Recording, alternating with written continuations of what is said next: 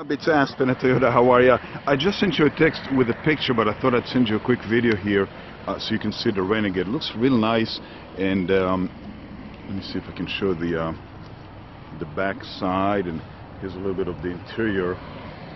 Uh, it's nicely equipped. It's got some nice features here.